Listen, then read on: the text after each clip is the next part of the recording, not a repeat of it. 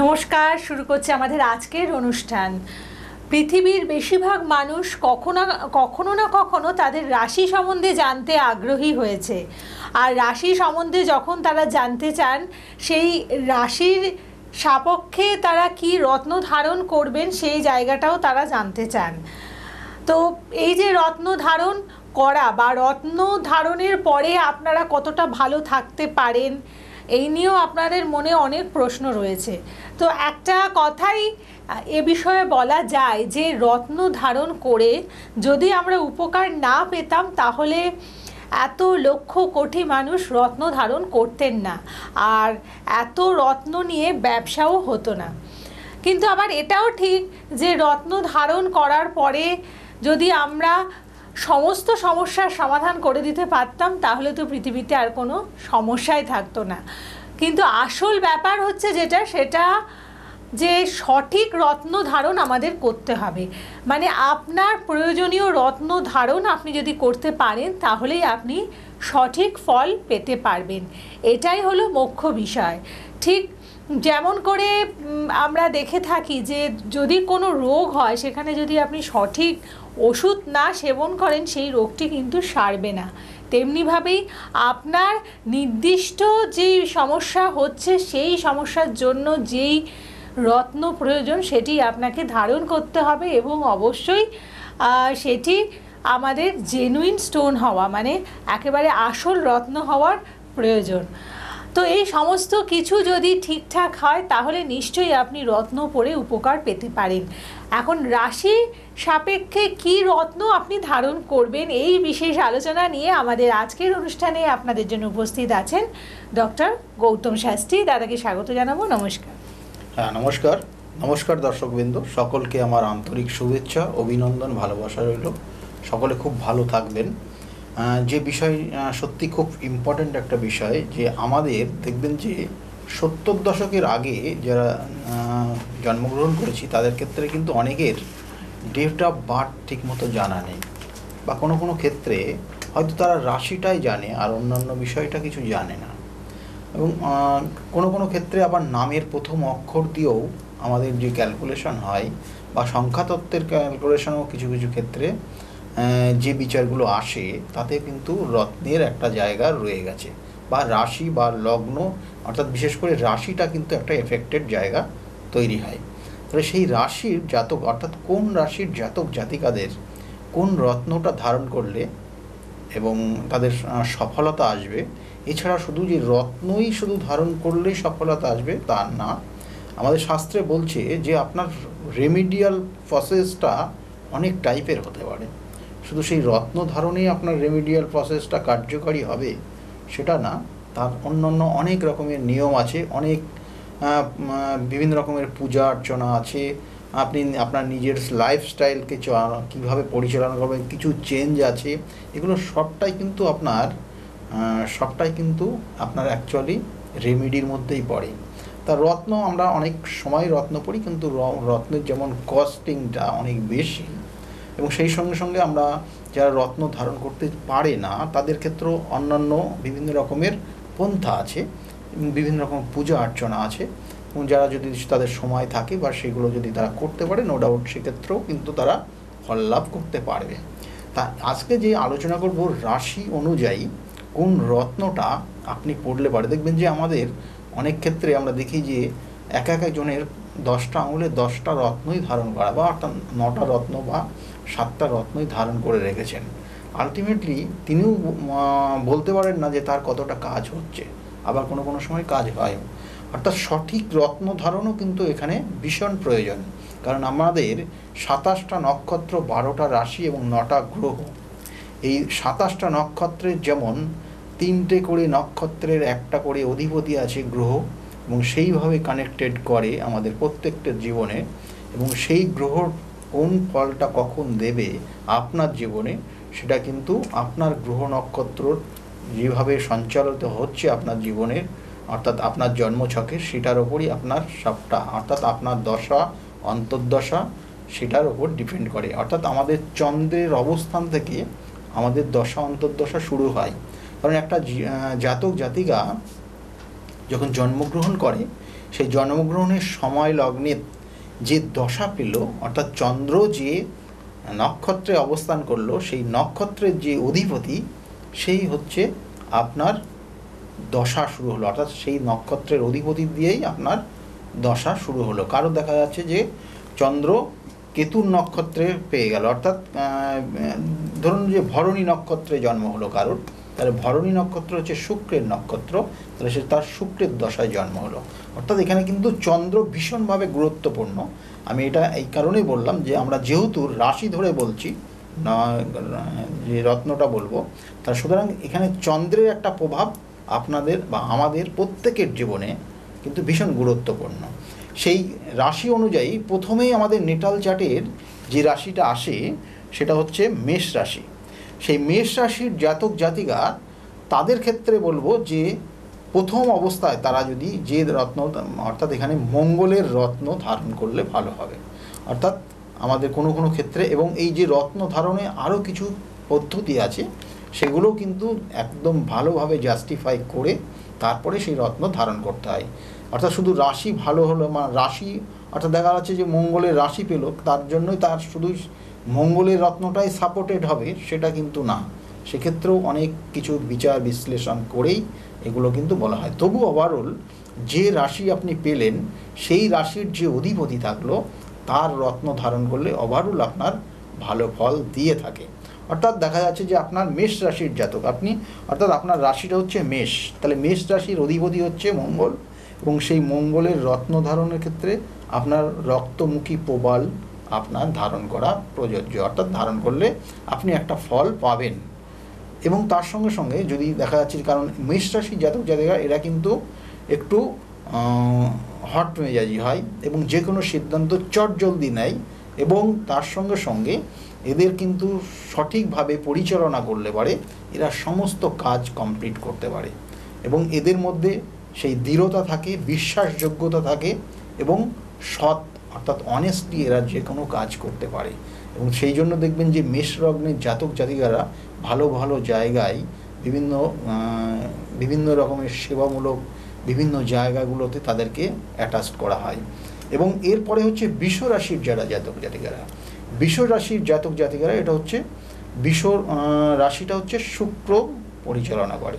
তাহলে শুক্র এখানে কিন্তু, অর্থাৎ শুক্রের যে রত্ন আমরা জানি অনেক সময় আমাদের এখানে কিন্তু দু রকমের আছে। অর্থাৎ কোনো কোনো ক্ষেত্রে ডায়মন্ড ইউজ করা হয়, আবার কোনো কোনো ক্ষেত্রে আমাদের যে রত্ন দেওয়া হয় সেটা হোয়াইট জারকন এই হোয়াইট জারকনের ক্ষেত্রেও কিন্তু কত রতি লাগবে সেটাও কিন্তু সঠিকভাবে, কারণ আপনার কতটা কি প্রয়োজন সেটা কিন্তু একটা জ্যোতিষ বন্ধু যিনি থাকবেন, তিনিই কিন্তু সঠিকভাবে আপনাকে লিখে দিতে পারবে।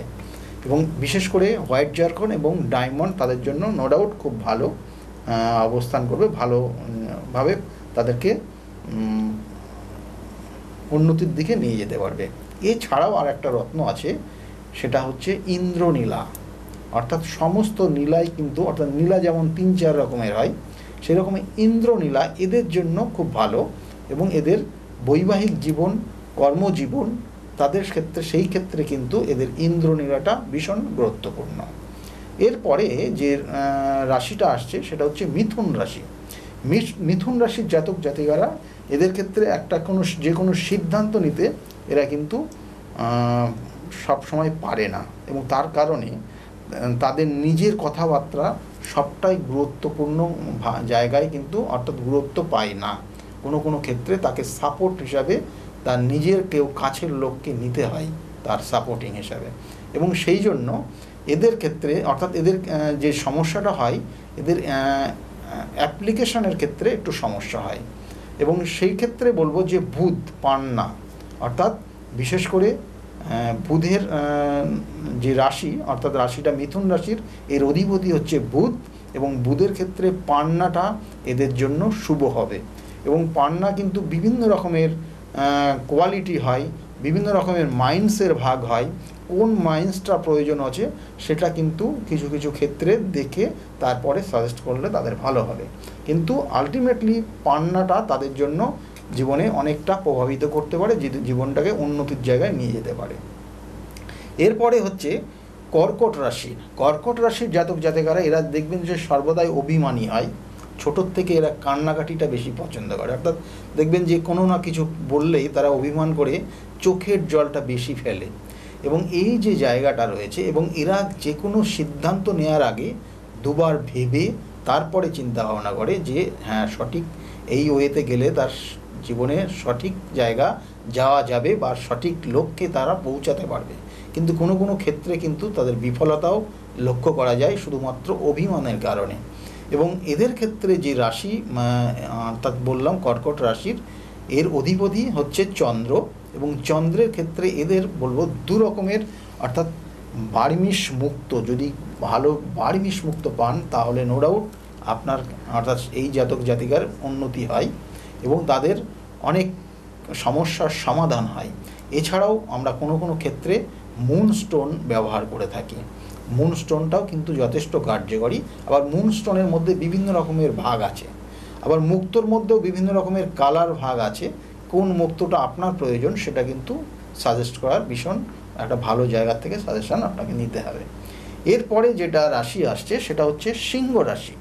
সিংহ রাশির জাতক জাতিকারা এরা সাধারণত খুব ভালো জিনিসগুলো পছন্দ করে স্ট্যান্ডার্ড জায়গায় যেতে পছন্দ করে স্ট্যান্ডার্ড জিনিস যেমন মেনটেন করতে পছন্দ করে এবং তার সঙ্গে সঙ্গে এদের কিন্তু মনটা সর্বদাই খুব নো ডাউট ভালো, পরিষ্কার এবং অনেস্ট হয় এরা।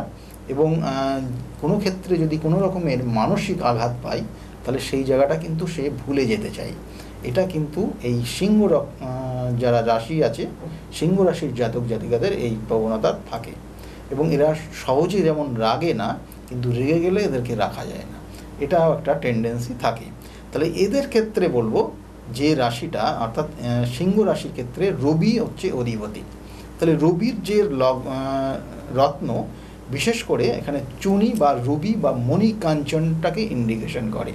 তাহলে এই যে ক্ষেত্রে এবং এখানে কিন্তু একটা জিনিস জানতে হবে যে সিংহ রাশির ক্ষেত্রে যেমন মণিকাঞ্চন বা চুনি বা রুবি যেটা সাজেস্ট হয়, এর মধ্যে যে রাসায়নিক কম্পোজিশন সেটা কিন্তু ভীষণ প্রয়োজন। অর্থাৎ আপনার চুনিটার কতটা ডিপ হওয়া প্রয়োজন, কতটা লাইট হওয়া প্রয়োজন- কতটা তার মধ্যে গ্র্যাভিটি থাকবে, এগুলো কিন্তু নির্দিষ্টভাবে সাজেশন দিলে পরে। সেই অনুযায়ী যদি আপনি নিতে পারেন, তাহলেই আপনার সঠিক কার্যকারী হবে আপনার জীবনে। হয়তো কিন্তু আপনার কিন্তু সেইভাবে কাজটা আপনি পাবেন না বা আপনি বুঝতেও পারবেন না। বারংবার বলবেন, আমার কি হচ্ছে? আমি বুঝতে পারছি না। এই এরপরে হচ্ছে কন্যা রাশির যারা জাতক জাতিকারা, কন্যা রাশির জাতক জাতিকাদের ক্ষেত্রে একটা জিনিস থাকে কি, এরা একটু লাজুক প্রকৃতির হয়, সব কথা সব ওপেনলি বলতে পারে না, কিন্তু এরা এইভাবে থাকতে থাকতে একটা সময় ডিপ্রেশনে ভুগতে পারে। এবং এদের যে এবং এরা ছোটোর থেকে সাধারণত আমরা দেখেছি আমাদের চার্টে বিভিন্ন রকমের ক্যালকুলেশন করে তারা এরা ছোটোর থেকে সাধারণত ঠান্ডা লাগার একটা টেন্ডেন্সি এদের থেকে যায়। এবং এদের ক্ষেত্রে এই রাশির যে অধিপতি, সেটা হচ্ছে বুধ। এবং বুধ এখানে তুম্বস্ত হয়। আমাদের জন্মছকে বা নেটাল চার্টের কন্যা রাশিতে বুধ তুম্বস্ত হয়। সরি বুধ হচ্ছে এখানে মূল ত্রিকোণ এবং বুধ সব থেকে ভালো ফল দেয় এখানে এবং এখানে বুধের যে নক্ষ যে রত্ন সেটা হচ্ছে পান্না। এখানে বিশেষ করে ডিপ কোনো রকমের, অর্থাৎ এখানে যেমন বললাম, তিন চার রকমের কিন্তু পান্নার মাইন্ডস পাওয়া যায়। বিভিন্ন রকমের মাইন্ডসের হয়। তাহলে কোন মাইন্ডসটা নিতে হবে? অর্থাৎ এখানে যে ডিপ কালার যে জায়গাটা থাকবে, এবং এক্ষেত্রে যেমন সতেরো বছর বা আঠারো বছরের নিচে যাদের আছে, তাদের এক ধরনের কালারের পান্না ইউজ করার প্রয়োজন। আবার আঠারো বছরের পর থেকে তিরিশ বছর পর্যন্ত এক ধরনের স্টোন ব্যবহার করলে ভালো হবে। আবার তিরিশ থেকে যেমন বিয়াল্লিশ বছর পর্যন্ত এই যে এজটা থাকবে, এদের ক্ষেত্রেও কিন্তু পান্নার ডিভাইডেশন আছে, অর্থাৎ মাইন্ডসেট ডিভাইডেশন আছে এবং সেইভাবে যদি তারা এই পান্নাটা পড়ে বা এই স্টোনটা পড়ে, তাহলে তাদের কিন্তু যথেষ্ট কার্যকরী হবে। এরপরে হচ্ছে তুলা রাশির জাতক। তুলা রাশির জাতক জাতিকাদের শুক্রর অধিপতি এরা। এরা যেমন সবার সঙ্গে একটু আন্ডারস্ট্যান্ডিং করে চলতে পছন্দ করে, সবার সঙ্গে একটা অ্যাডজাস্টমেন্ট সবসময় থাকে এবং একটা বন্ধুত্ব জায়গা সবার সঙ্গে একটা ভালো একটা রিলেশন রেখে চলতে পছন্দ করে। এরা বিভিন্ন জায়গায় বেড়াতেও পছন্দ করে, কিন্তু এদের মধ্যে একটা তুলা যে দণ্ড বলা হয়, অর্থাৎ তুলা দণ্ডর মাপ, অর্থাৎ সে কতটা দিচ্ছে, কতটা নিচ্ছে, তাদের মনের মধ্যে কিন্তু এই সমস্ত জায়গাটা থাকে। অর্থাৎ আমি সে কতটা একজনকে দিল, সে কতটা তার কাছ থেকে পেল, এই মাপের ব্যাপারটা তাদের মানসিকতার মধ্যে অর্থাৎ মনের মধ্যে এটা কিন্তু থেকেই যায়। এটা কিন্তু প্রথম থেকেই তৈরি হয়। এবং এর সঙ্গে সঙ্গে এই তুলা রাশির যারা জাতক জাতিকারা আছেন, ভীষণ, এরা কিন্তু ভীষণ ক্রিয়েটিভ মাইন্ডের হয়। সর্বদা ক্রিয়েটিভ মাইন্ড এবং তার জন্য তারা ছবি আঁকা, গান, বাজনা মিডিয়া লাইন এইসব জায়গাগুলো কিন্তু এদের যথেষ্ট দক্ষতার সঙ্গে হ্যাঁ প্রতিষ্ঠিত হতে পারে। এবং এদের জন্য ভীষণ করে, অর্থাৎ এখানে তুলা রাশির যা, যে অধিপতি হচ্ছে, সেটা হচ্ছে শুক্র। শুক্র এটা মূল ত্রিকোণ শুক্রের। এবং শুক্রের এখানে যদি রত্ন ধারণ করা যায়, তাহলে এক কথায় ডায়মন্ড খুব পাওয়ারফুল কাজ হবে। এবং যতটা হোয়াইট পাবেন, এখানে ডায়মন্ডের বিভিন্ন রকমের আপনার ভাগ আছে। এবং তার মধ্যে যেটার কালারটা সব থেকে হোয়াইট, সেটা এখানে বেশি কার্যকারী আপনার জীবনে আসতে পারে এবং তাছাড়াও যদি ডায়মন্ড নেওয়ার সমর্থন না হয় বা আর্থিক জায়গাটা সেরকম যদি না হয়, তাহলে হোয়াইট জারকন অবশ্যই ইউজ করুন, দেখবেন আপনার সফলতা অবশ্যই আসবে। এর সঙ্গে সঙ্গে আমরা যেটা পরে যেটা বলব, সেটা হচ্ছে বৃশ্চিক রাশি। অর্থাৎ বৃশ্চিক রাশির জাতক জাতিকারা সাধারণত ছোটোর থেকে কিন্তু এদের আর্থিক জায়গাটা একটু কষ্টের মধ্যে দিয়েই কিন্তু বড় হয়।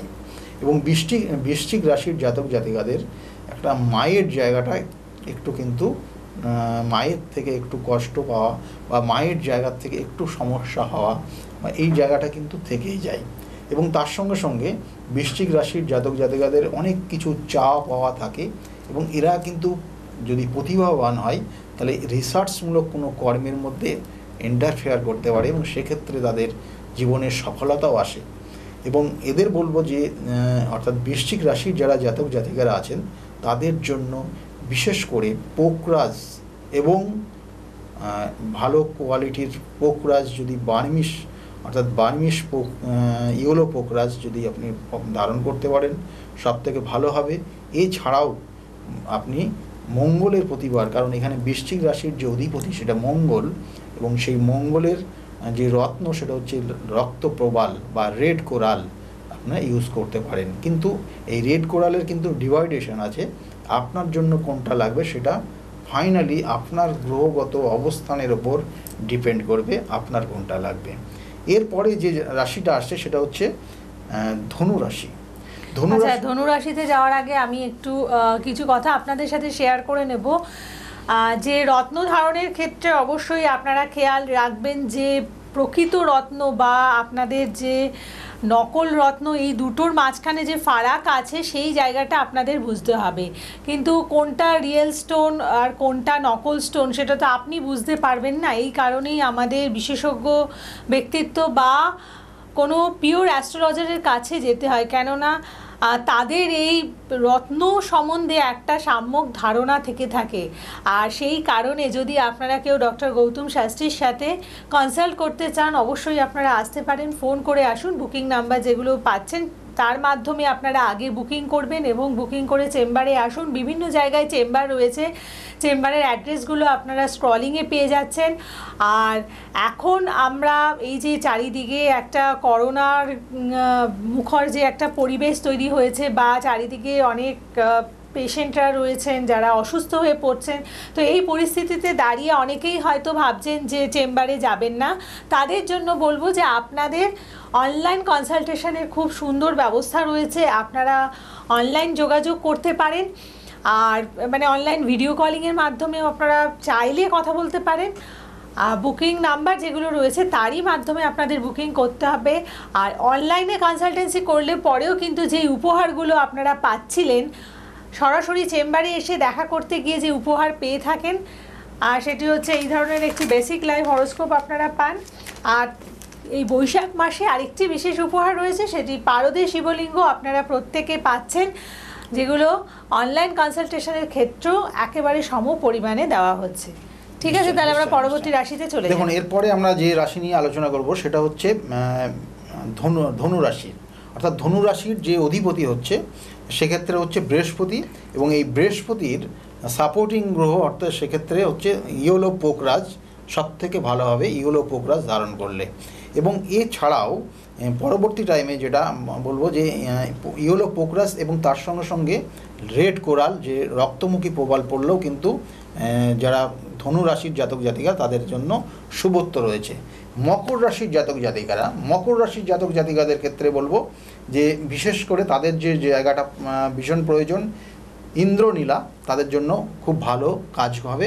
এবং তার সঙ্গে সঙ্গে যদি এটা না পারেন, তাহলে আপনি একটা রত্ন ধারণ করতে পারেন। সেটা হচ্ছে ইন্দ্রনীলা এবং তার সঙ্গে সঙ্গে আপনার যেটা মুনস্টোন ব্লুজ মুনস্টোন আপনি ধারণ করতে পারেন। সেটাতেও আপনি কিন্তু যথেষ্ট কাজ পাবেন।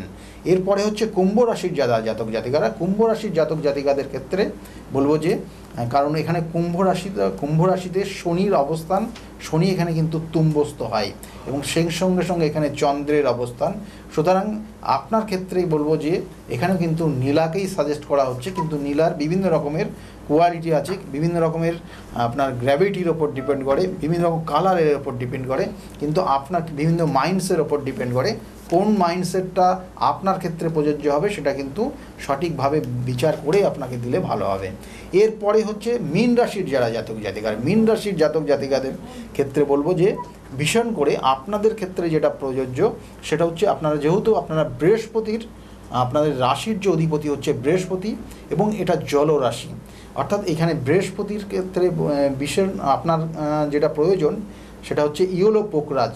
এবং ইয়োলো পোকরাজ কতটা পরিমাণ প্রয়োজন এবং প্রত্যেকটা রাশির ক্ষেত্রে যে আপনার কতটা পরিমাণে সেই স্টোনটা ধারণ করলে আপনার ক্ষেত্রে প্রযোজ্য হবে, কতটা গ্র্যাভিটি তার প্রয়োজন আছে, এগুলো কিন্তু নিখুঁতভাবে ক্যালকুলেশন করে আপনার জন্মছক বা আপনার রাশির চন্দ্রের অবস্থান, কোন নক্ষত্রে অবস্থান করছে চন্দ্রটা, এগুলো কিন্তু বিভিন্ন জায়গাগুলো বিচার বিশ্লেষণ করে তারপরেই কিন্তু একটা সাজেস্ট করা যায় যে হ্যাঁ আপনার জন্য এই স্টোনটাই সব থেকে গুরুত্বপূর্ণ এবং এই স্টোনটাই আপনার জীবনের অনেক কিছু পরিবর্তন করতে পারে।